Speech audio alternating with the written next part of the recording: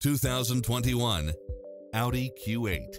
With less than 32,000 miles on the odometer, this SUV offers space as well as power and performance. Additionally, you'll be more than pleased with extra features like these.